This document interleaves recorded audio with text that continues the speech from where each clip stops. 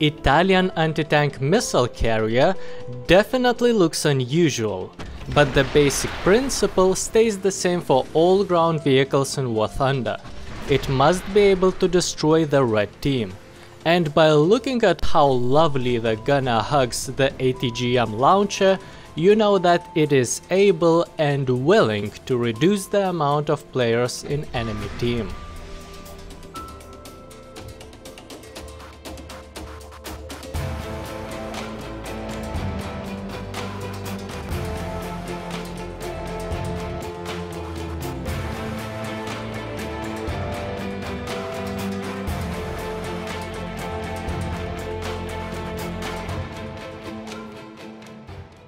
ATGM launcher fires missiles. Only missiles. So you don't have that much flexibility when choosing ammunition. But that is not necessarily a bad thing.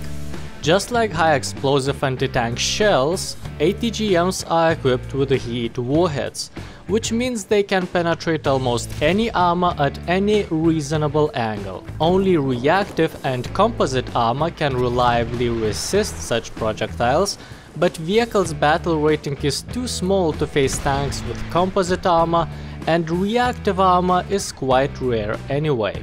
So most of the time every missile will do some damage depending on what kind of vehicle it hits. If that's a medium tank or something heavier, you might need few hits as the post-penetration damage is not that big. But at this vehicle's battle rating you will fight a lot of light tanks. And when hit, those will be instantly hull broken, which makes the cal machine gun on this vehicle rarely useful. But the most important difference of ATGM is that projectile doesn't follow ballistic trajectory. Instead, it follows your crosshair, which makes it very easy to hit very distant targets. That is one of the most significant advantages of this vehicle. Usually, I was trying to take a high ground to have good overview of the map and snipe opponents from a safe distance. But it's very important to have the element of surprise, because your missile flies few times slower than usual tank projectiles, only at 300 meters per second. Sometimes opponents appear in front of you for a brief moment when passing through open area to the next cover, and the missile might not even be able to reach the target in time. If you see that happening, better send the missile away so you don't attract opponents' attention, because it becomes even worse when enemies become aware of you they will have plenty of time to get back to cover when they notice your missile or even can try to shoot it down with machine guns. That will simply waste your missile. And every missile counts when you can take only 10 of them into battle. Engaging in a fight with opponent that is expecting your attacks can quickly leave you with no ammo. By being closer to action, slow missiles velocity won't be an issue, but other problems will appear. First of all, there are plenty of vehicles with stabilizers that will be able to shoot immediately as they see you. And you cannot fire a missile before stopping or at least slowing down to 3 kph. Additionally, it will take quite a while to reload the weapon. With Aced Crew, reload is 10 seconds, that's longer than almost every tank you will face, so if you miss, you can be overrun easily when opponents are close. Limited horizontal guidance will also become a bigger problem in close engagements. Launcher is directed towards vehicle's front and can rotate 45 degrees to each side. That's wide enough angle to be comfortable, since opponents rarely pop up right behind you but in those rare cases when you are flanked and your engine is disabled, be aware that your vehicle's expiration date is very close. In addition to limited horizontal guidance, rotation speed is also relatively slow. With aced crew it's 18 degrees per second. When you stay away from where main action is happening, it's not going to be an issue, but when you play on city maps or somewhere else where you cannot maintain distance, This might become bigger issue as almost all your opponents will have faster turret rotations. Vertical guidance is much better. Elevation of 25 degrees is quite usual, it allows to attack helicopters, but depression is something impressive.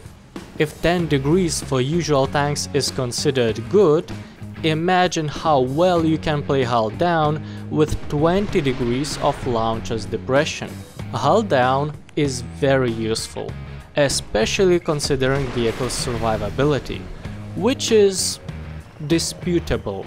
On one hand, it is hull breakable and its armor is made of aluminum which is less effective. The only reason why it can resist high cal machine gun fire is angled frontal plate. But if someone attacks you from any other direction, it is very likely that opponent won't even need to use his main gun. Additionally, the gunner heroically stands on top of the vehicle with no protection at all, which makes him extremely vulnerable to everything. Get ready to gunner getting randomly knocked out because of artillery strikes on the other side of a map. On the other hand, that same gunner noticeably sticks above the vehicle, so you can hide entire vehicle behind other objects and still have clear line of fire.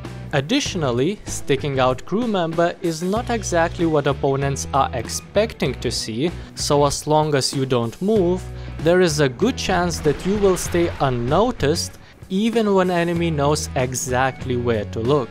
So ironically, by exposing the most vulnerable crew member, the whole vehicle has better chances to survive. If Italian tech tree is known for fast wheeled vehicles, this one is one of the exceptions. Missile carrier reliably reaches speed of 40 kph and on roads or when moving down hills it can accelerate up to 64. Overall, the speed is not bad, but at these battle ratings all nations have at least few fast vehicles, so you won't have any real advantage. Reverse is 14 kph, which is again not bad, but nothing special. What I do like about the vehicle's mobility is how quickly it can turn. That is especially useful knowing that horizontal guidance is limited and slow.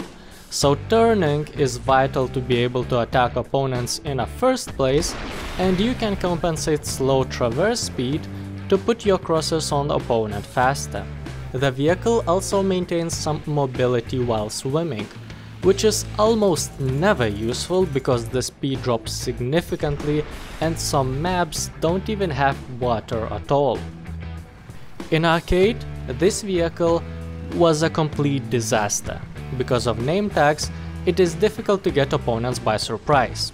They will have enough time to hide when they see your slow missile coming their way, making your attacks ineffective or even completely useless if opponents are hiding behind bushes or trees. Assuming you have only 10 missiles in total, you can quickly end up having no ammo. Additionally, it's harder in arcade to destroy non-hull breakable tanks because of crew replenishment mechanics, which makes your long reload even bigger issue. And additionally, your advantage in long range accuracy is minimized since everyone gets penetration indicator anyway. Everyone except you. While aiming at opponents you can't even see their silhouettes. The only two helpful things are gun's depression and that launcher is mounted above the vehicle. Both of these things will help you with camping, which is the only viable option for this vehicle. But get ready that opponents will drop artillery strikes on your position, which makes camping dangerous for your hull breakable vehicle and especially for gunner, even without meeting any opponents.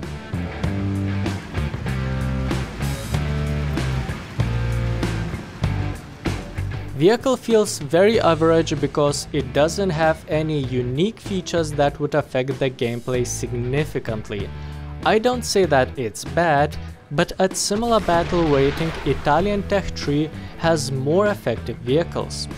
I would rate it 4 drivers with broken expectations out of 10.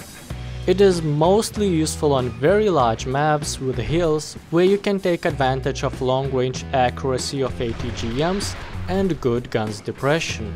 Otherwise, on smaller maps, vehicle has too many disadvantages. This missile carrier is nice addition in your lineup to respawn when your main vehicle is destroyed, but I wouldn't take it as a first pick in most cases. I already made review on another Italian vehicle, Centauro. That is an example of vehicle I would take as a first pick. You can check its review in top left corner to see how different it is from this missile carrier and use the remaining seconds to make sure that subscribe button below this video is not red anymore.